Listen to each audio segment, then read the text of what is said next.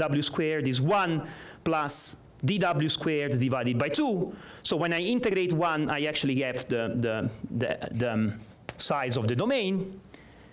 And then I get the integral of dw squared over the ball of radius 1 half, okay? And then I get higher order terms of the type dw to the power 4. But the size of dw is e to the omega, and we know actually that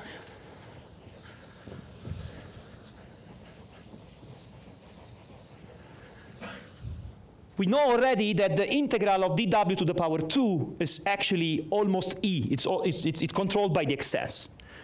Okay, so here I then have something which is of the order e. Uh, um, I mean, I have an error.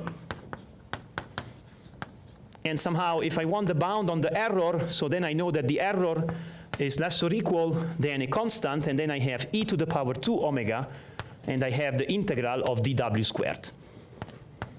Okay? So it's a perturbation of higher order terms. So the, the biggest term is actually this one. Okay? Now,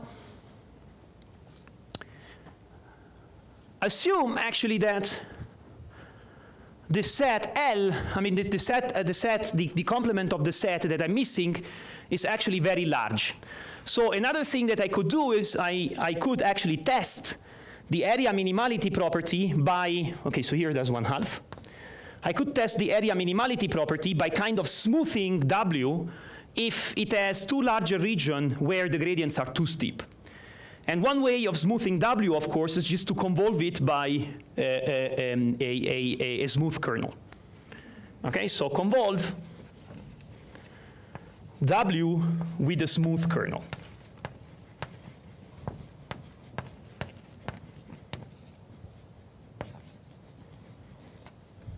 Okay, so let us say the smooth kernel is phi, and let me just for the moment put L as the size of the kernel. Okay, so then I define Z to be equal to W star phi L. Okay, and now let me compute the Dirichlet energy. So of course, W star phi L will have a Lipschitz constant which is less or equal than the Lipschitz constant of W, okay, up to constants. And so if for W the area is essentially the Dirichlet energy, of course for Z the area will also be, the area of the graph will also be the size of the domain plus the Dirichlet energy, right? So let me now compute or let me get an estimate on how big is this, uh, uh, uh, is this, is this energy. Okay, and let me do it in the following way. So I want to actually estimate the integral of dz squared over the Borel radius 1 half. I'm cheating a little bit actually because if I, if I am actually making a convolution then I have to go to a ball which is slightly smaller, okay? But, but let me ignore that. Okay, so then here I have a key estimate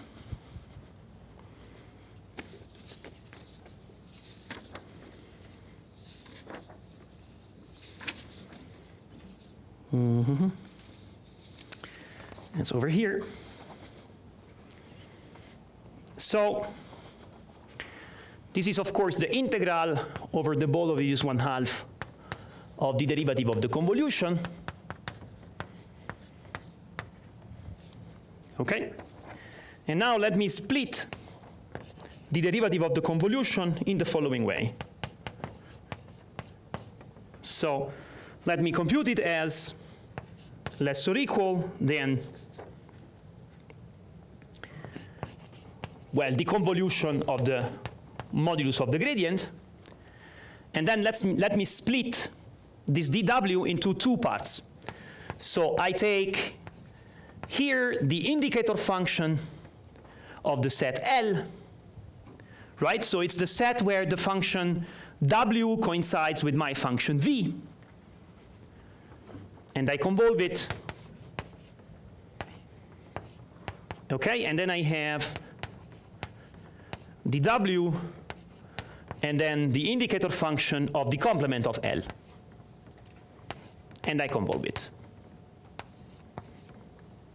Okay, and now I make a kind of brutal estimate. So when I'm computing the Dirichlet energy,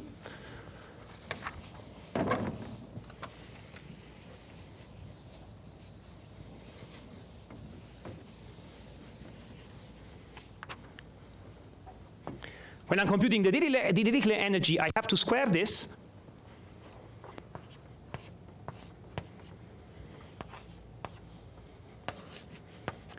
Okay, I, ha I have a term which is the square of this quantity. And if I look at that term, this is actually here. If I look at that term, that term is obviously less or equal than the Dirichlet energy of W of, on the set L.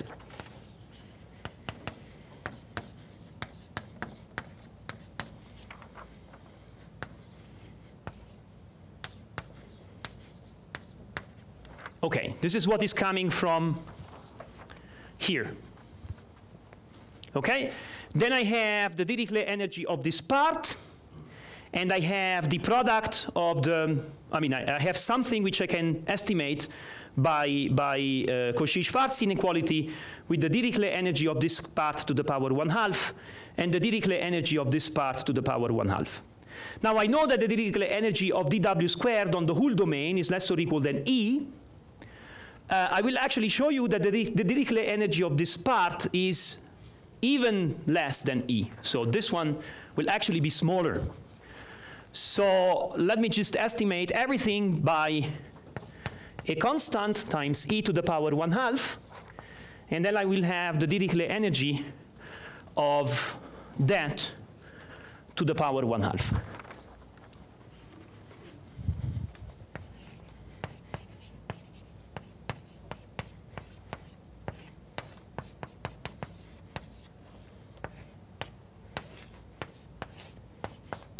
Okay, so the term which is left, which is the square of this, is actually higher order. So um, I will just estimate this part. Okay, and now let me be uh, sloppy, and let me just say, okay, I, I have to estimate the L2 norm of this quantity.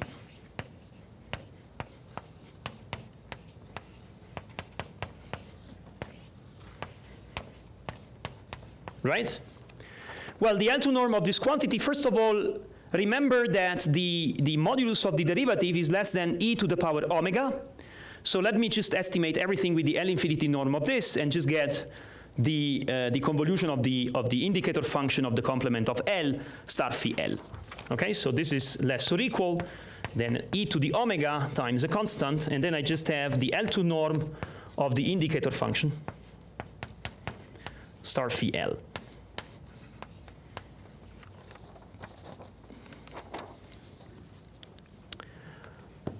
Okay, and now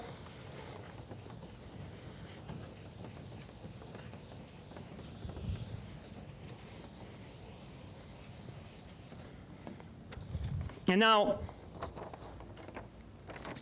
I want to estimate that L2 norm, and I use the usual fact that if I'm estimating the indicator function of L complement convoluted with something, if I'm estimating the L2 norm, I can estimate this with the L1 norm of this guy. And then here I have the L2 norm of phi L. Okay? And so, what is what is the L1 norm of the complement of L? Well, that I have the L1 estimate, the weak L1 estimate, which I used before. So this is less or equal than a constant E. Uh, um, to the power um,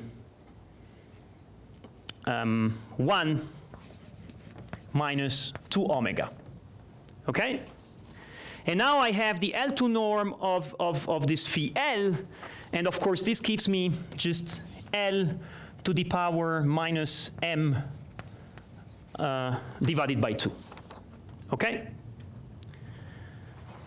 So now I want to use this convolution of W with phi L as a competitor against W.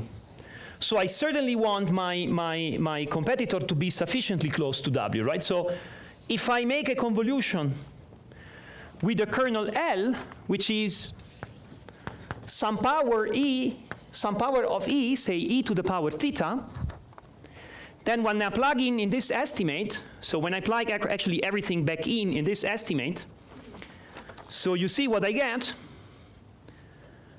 Um, okay, so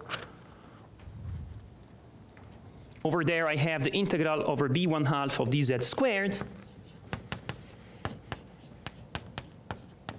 Okay, so I have the integral over L of dw squared.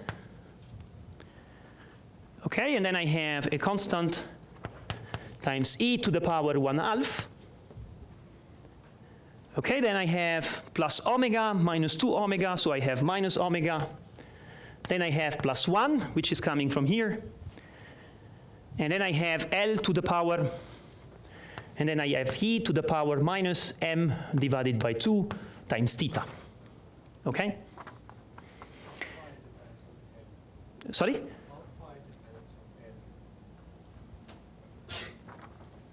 I'm not understanding. Phi. Phi is a smooth kernel.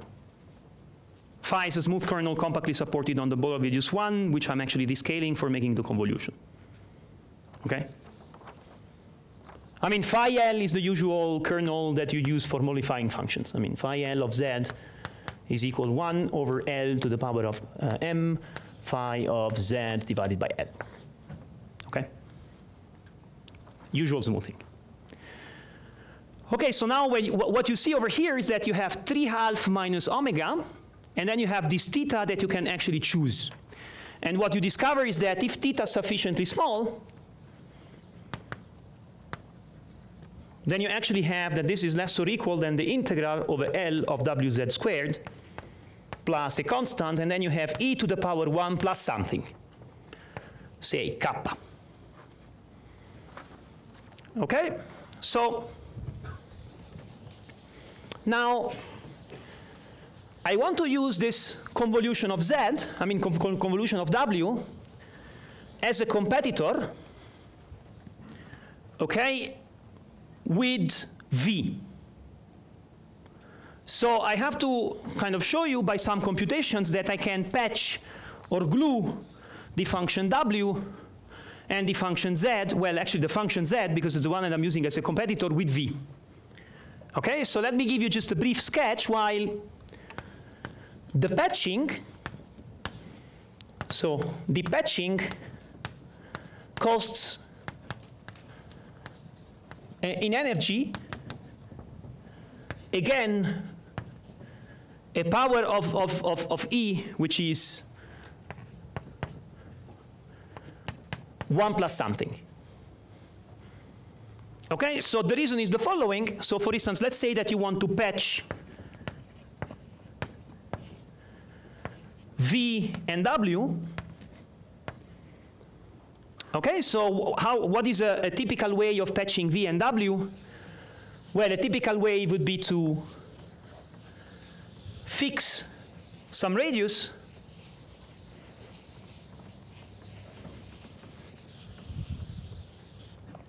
So fix a radius r, or maybe we should call it sigma. Let's say this is a sigma between, I don't know, 1 over 4 and 1 half, okay?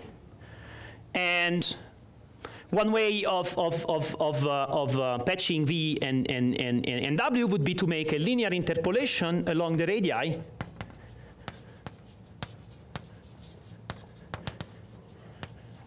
between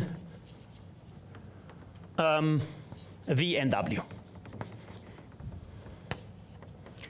Okay, so for instance, if you, if you introduce radial coordinates, one way of doing this would be to define a new function. So the new function, say, uh, the new function v tilde is equal to v outside the ball of radius sigma. So v tilde is actually a scale of uh, v tilde of x is a scaled version of, um, of um, uh, W. So it's like something like W of um, uh, sigma divided by sigma minus a layer, and say the layer is e to the power beta times x.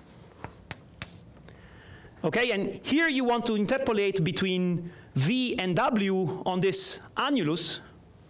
So here's the interpolation.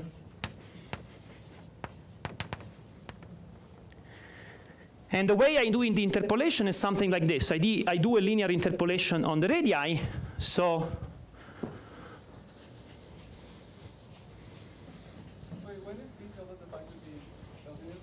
Sorry? When is V tilde defined to be W? Uh, inside the ball of radius sigma minus e to the power beta. Okay?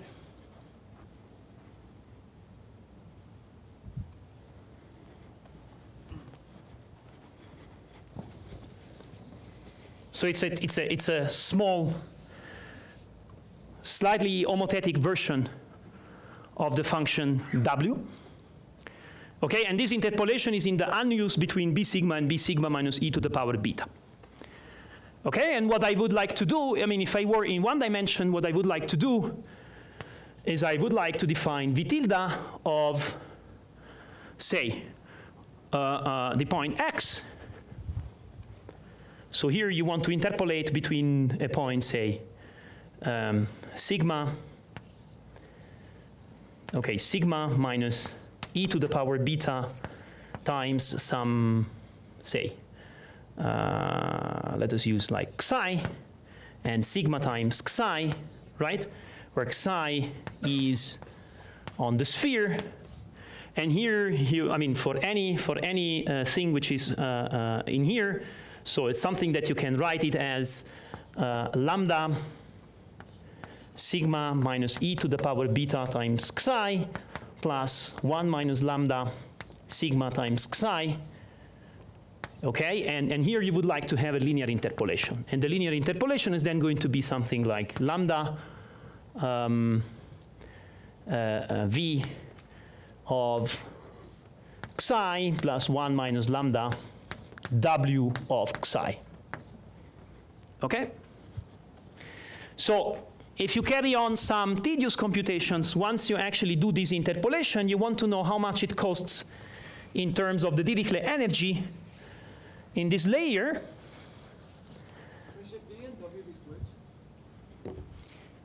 Yeah, probably.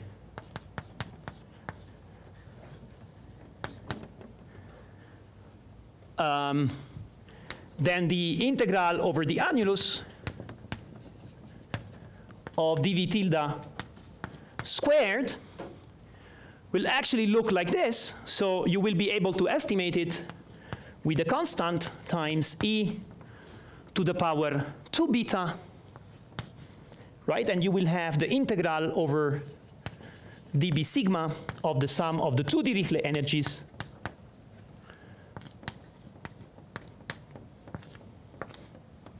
Okay, and then you will have actually something to pay over here. Here you will have a constant, and you actually have to divide by e to the power 2 beta.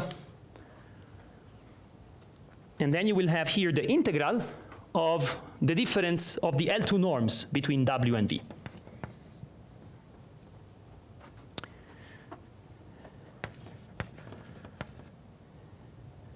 Okay, but now remember, W and V so you can imagine if I make, I mean, if I choose my sphere correctly, the Dirichlet energy over the sphere is comparable to the Dirichlet energy in total, and the Dirichlet energy, total Dirichlet energy of both of them is around E.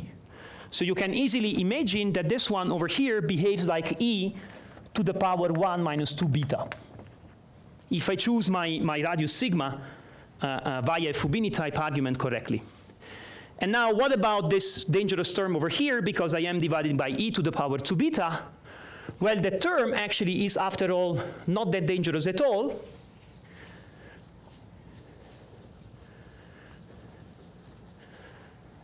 Okay, actually there's, there's, um, there's an integral uh, because I'm integrating over an annulus, so there's actually an e to the power beta over here. Okay, so that term is actually not, uh, um, not um, uh, dangerous at all because remember, W and V agree on a set whose complement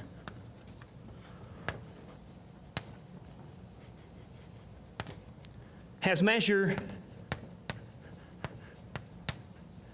less or equal than e to the power 1 minus 2 omega. Okay? Um, but I can actually gain on the following fact. So since V and W are both Lipschitz, right on the set where they don't agree, they're actually pretty close.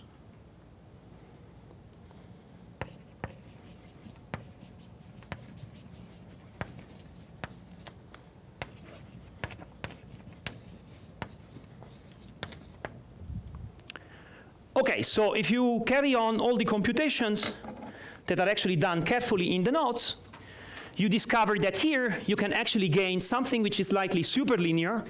And even though you are dividing by something which is a power of e, if you, if you set your, your, your exponent beta correctly, then you actually get that this one is also gaining something which is less or equal than e to the 1 plus something.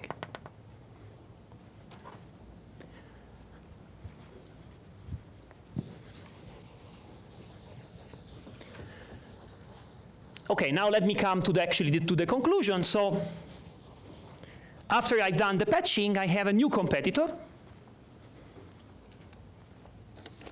And what I discover is that the area of the new competitor, so after the patching,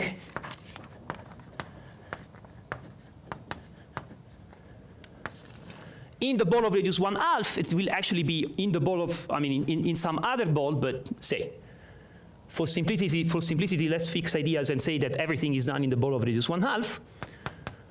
So in B1 half, I have a competitor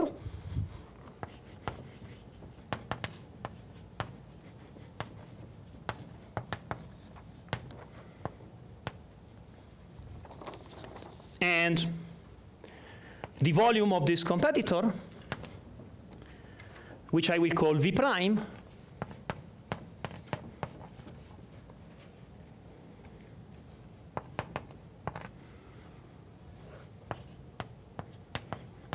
So the volume of this competitor is going to be the size of the ball of radius 1 half.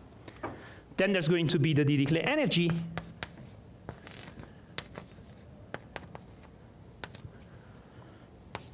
Or dv squared but intersected the set L, where everything is nice, and then there's going to be an error, which is of the type e to the power 1 plus kappa. Okay, and why actually now all of a sudden in the set L I'm actually putting dv squared instead of dw squared? The reason is because w was the extension of the restriction of v to L. So V and W actually they coincide on L, and therefore they have the same gradient.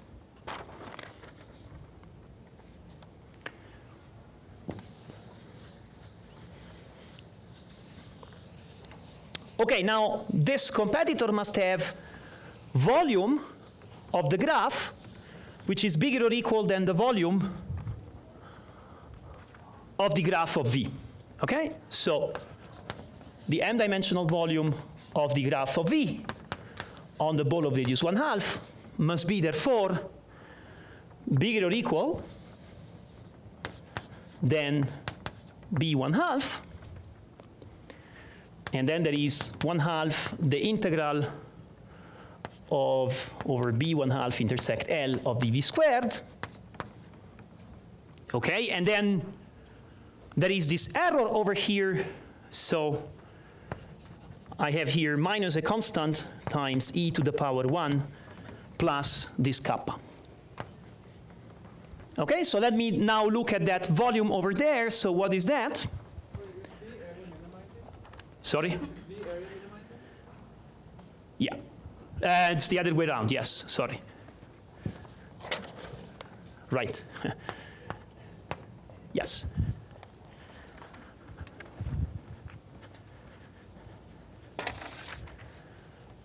Okay, so now let me actually expand that uh, um, uh, volume over there. So if I subtract the ball of radius 1 half on this other side, I get the excess.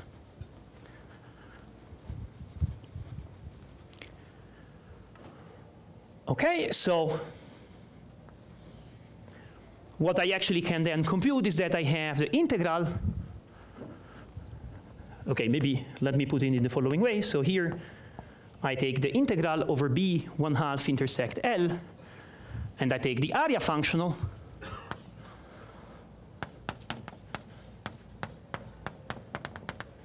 Okay, and then let me subtract the corresponding volume over here. So that's one term. Okay, and then I have what is left over here. So this is the b1 half minus L. And here I have the square root of 1 plus dv squared plus all that jazz okay, minus b1 half minus L, okay? And this I discover is less or equal than 1 half integral over b1 half intersect L dv squared plus a constant e to the power 1 plus kappa. Okay, now make a Taylor expansion of this portion, so in this portion is actually where I know that the maximal function of dv squared is small. So in particular, modulus of dv is less or equal than a constant times this e to the power whatever we, we fixed at the beginning, like omega. So you can actually Taylor expand that. And when you Taylor expand that, you find exactly the Dirichlet energy over that portion plus higher order terms.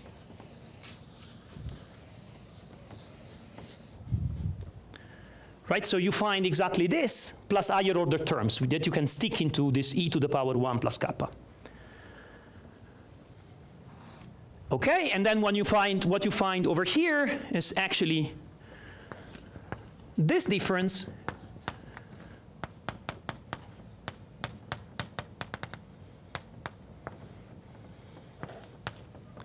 And so the Dirichlet energy now cancels with the Taylor expansion of this guy, and you get this.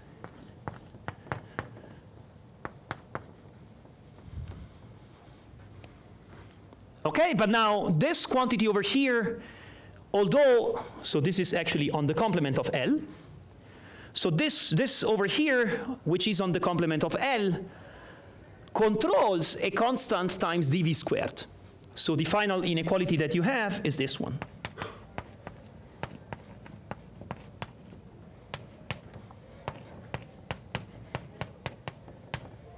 Okay? So now remember what the complement of L was. The complement of L was the place where the maximal function is large.